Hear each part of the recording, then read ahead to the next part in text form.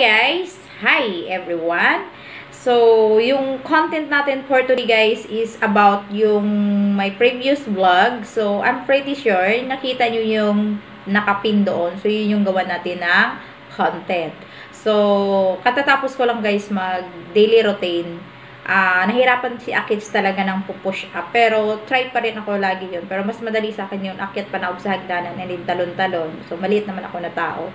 So, ganun. So, para-paraan lang kung paano tayo mag-exercise. Basta malaga, mag-workout tayo inside the house. Kahit ano na lang dyan, magpagtatumbling. Alright. So, gawa na natin yan ng vlog. So, yung question niya is, anong... Ay, nako! Ay! Natatawa ako. Oh my God, bakit ganun yung tanong niya? Natatawa talaga ako. Bakit ganun ang tanong mo? Simple lang ang sagot dyan. Ay, malang buboylo tayo ng sagot dyan. Ay, nako. Ay, ay nakakaloka. Mm.